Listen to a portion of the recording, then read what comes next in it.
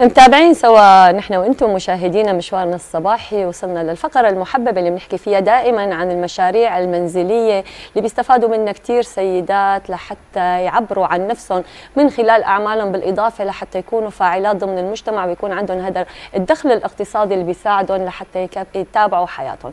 اليوم ضيفتنا هي السيدة سلاف يوسف هي صاحبة مشروع صغير منزلي بتشتغل فيه ألعاب للكروشيه لنتعرف أكثر على هيدي الفكرة كيف اشتغلت عليها وين وصلت اليوم فيها بيسعدنا إنه نرحب فيها ونقول لك يسعد صباحك. يسعد صباحكم. أهلا وسهلا فيكي. يسعد صباحك واهلا وسهلا بحضرتك. بداية إذا بدنا نحكي عن سلاف تعرفينا عن أكثر؟ شو بتشتغلي بالحياة؟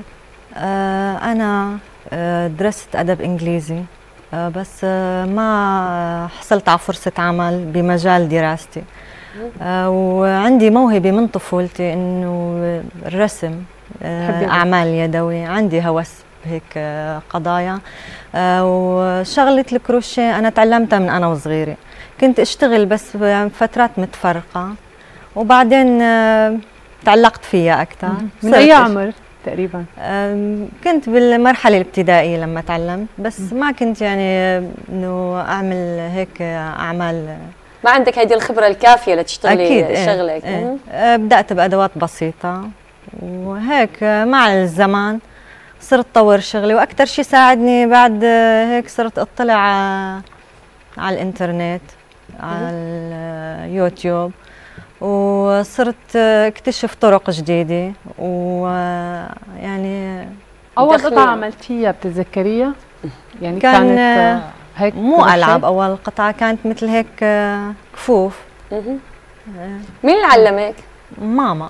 والدتك هي والدتي كان عندها بهيدا الشغل إيه. اليوم اللي أنت عم تشتغلي على ألعاب من الكروشيه. نحن كنا بشوي عم نحكي هيك تحت الهواء إنه أنت عندك كثير أفكار وبتحبي كثير شغلات إنك إيه. تشتغليها ولكن شغفك الأساسي هو هيدي الألعاب. الألعاب. إيمت بدأتي بهيدا المشروع وحسيتي إنه أنا هيدي الهواية لازم أعملها مشروع ذو دخل اقتصادي اشتغل من ورا الصراحة هي الشغلة كلها كان مصادفة. أنا الألعاب أول ما شفت فكرة الألعاب عجبتني كثير كان بال 2010 2011 شفتها بمعرض دمشق. إنه شفت هاي الفكرة إنه قلت أنا قادرة أعمل هيك شيء. وجبت المواد وجربت طلعت أول عمل عندي كثير حلو. بعدين صرت طور شوي شوي آه كمان كبر الأحجام. حسب شو هيك الفكرة اللي ببالي فورا طبقها. تشتغلي عليها صرت أشوف كمان يعني كثير ساعدني الفيس واليوتيوب. وصرت هيك طور شغلي على هالأساس. هلا ببداية أي شيء بيكون صعب يعني ممكن ياخذ وقت طويل ممكن تخرب القطعة معنا ما تنجح. ممكن نحكي عن هذه التفاصيل كيف مرقتي فيها كيف تجاوزتيها. يعني في لحظات قلتي ما بدي كفي مثلا هلا أكيد. بمر الواحد بفترات إحباط فترات تعب فترات ما فيك مثلا تنفذي الشيء اللي ببالك. بس برجع بجدد طاقاتي بشتغل. هيك بشوف أحيانا بحفزني بشوف أنماط على الفيس على اليوتيوب. هيك تشجعني إنه بقول بدي نفذ هذا اقتباس. يعني مو ما ما بعمل تقليد هيك. تمام بتشتغلي عليه. يعني أنت شو ما شفتيه بتحاولي إنك تشتغلي عليه بطريقتك بإمكانياتك أكيد. الموضوع. حط عليه لمساتي الخاصة. حلو. طيب اليوم الشغل الكروشيه وهيدي الألعاب هي بحاجة لمتطلبات معينة مواد أولية. أكيد. نحكي عن هيدي المواد الأولية كيف عم تأمنيها؟ هل هي موجودة؟ ما كانت موجودة شو هي البدائل والحلول اللي ممكن أنت تتصرفي لحتى تعوضي؟ بالنسبة للخيط وأنواعه بالبداية ما كنت متعرفة على أماكن فيها أنواع الخيط اللي بدي إياه. قطن صوف. هلا صار عندي خبرة إنه بعرف الأماكن منين بدي أجيب منين بدي وصي. بس مع هالشيء في صعوبة بتأمين المواد الأولية ومع ارتفاع الأسعار والكل يعني بيعرف بهي النقطة. إنه في الشيء المادي اللي على الفايبر عم أحشيها فيه كمان واجهت صعوبة إني أمنها. بس مع الوقت الواحد يعني بيتمكن إنه طيب في خيط معين؟ في خيط معين ممكن هلا في أنواع خاص بهيدا الموضوع أو في شيء بيكون أفضل هلا الصراحه هو كنمط ألعاب بنستخدم فيه خيط القطن تحديدا. بس أنا لا لعبت على الموضوع صرت أستخدم صوف في أنواع موهير كله استخدمته بالألعاب ونجح يعني نجحت فكرته. نعم طب هلا أي سيده عم تتابعنا وعندها أفكار بتقول إنه هيك يعني هيك مشروع بده رأس مال كبير بده آه إني أنا بلش مثلا بانطلاقة قوية واللي لا. يعني احكي لنا عن هيدي التجربة. بعتي فورا أول ما اشتغلتي وصار يرجع يجيكي مردود واللي لا طولتي بالك وصبرتي؟ لا ابدا. هو مثل ما حكينا بالبداية كنت أنا أعملهم لأنه هوس إلي أنا أعملهم. حب اللعبة أعملها إنه خليها عندي تذكار شغلي تعبي هيك. بعدين مع زيادة عدد الألعاب اللي عملتها. صار عندي كمية كبيرة. وبالمصادفة مثلا حدا بيجي أو بهديه هدي بيجي شخص تاني بيشوفه بيطلب. صارت حتى فكرة إنه التجاره بهالموضوع كمان صارت مصادفة. مصادفة. فنتيجة الضغوط الحياة اللي مرينا فيها كلنا طبعا. آه فكرت قلت ليش ما بحوله لباب رزق؟ آه هيك. وبلشتي تبيعي بلشت إيه. حلو. تجاه التكاليف والتعب والوقت اللي ممكن تاخذه هيدي الألعاب هل هو آه، مشروع اقتصادي جيد للمرأة؟ آه لا بأس. جيد يعني. نعم. تمام. في مردود يعني كويس. تمام. قد إيه بتاخذ معك القطع يعني نحن بنعرف آه، ستات البيوت دائما بيكون عندهم هيدا إيه، الشغل اللي كثير اللي هن آه يعني مسؤوليات كثيره كيف عم بتشوفي وقت؟ وقد إيه مثلا ممكن تاخذ معك القطع هلأ أنا بنظم وقتي. إنه في أطفالي لما بيروحوا على المدرسة مثلا ممكن يكون معي وقت آه، كم ساعة؟ ممكن أحيانا آه، المساء بالليل بعد ما يناموا بقعد بشتغل و... كل يوم بتشتغلي؟ فيهم؟ أغلب الأحيان يوميا. يوميا بتشتغلي فيهم. هلأ عم نشوف نحن ألعاب آه، كبيرة الحجم وعم نشوف مثل علاقات مفاتيح. إيه فينا نشوفهم بعد إذنك ال أيوه إنه هيدي علاقات. كمان يعني هي ليست بس ألعاب إنما ممكن نستفاد منها بأمور ثانية تمام. مثل هيك. تمام.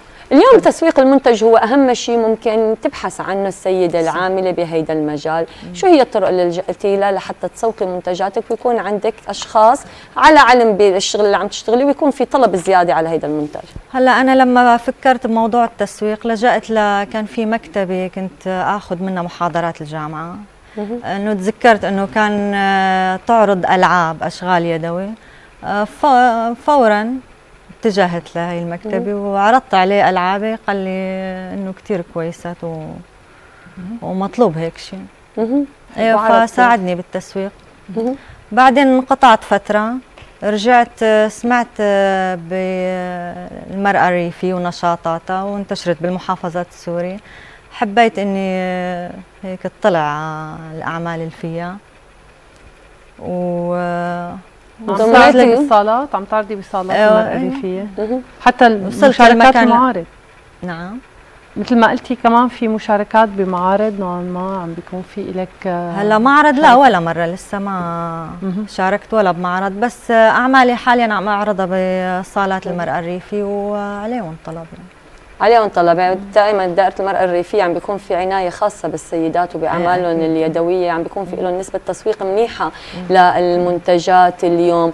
آه، فكرتي شيء تعملي دورات لتدربي حدا على هيدا النوع من الخياطة؟ يعني إحنا بنعرف في بعض المهن ربما قابلة للاندثار اليوم ما كثير في عالم عم ترغب لإلها. في حدا بيجي بيقول لك أنا بدي أتعلم هيدي المهنة بدي أعرف كيف عم تشتغليها هلا يعني حابة أنا أشوف آه، مثلا بنات يكون عندي شيء أشبه بالورشه إنه علمهم آه، يصير هيك الشغل أوسع بس لهلا لسه ما من ضمن طموحاتك المستقبلية. أيوة. إن شاء الله.